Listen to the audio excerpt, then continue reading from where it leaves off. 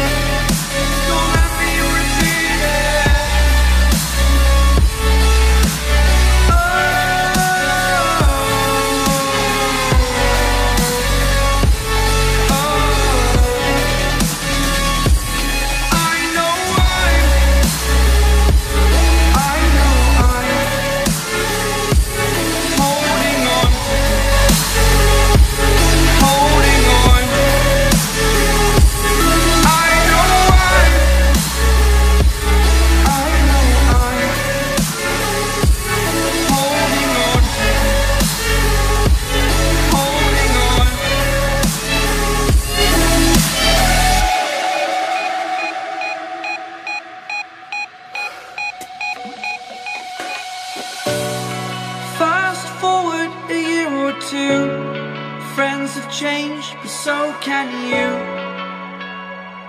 So can you.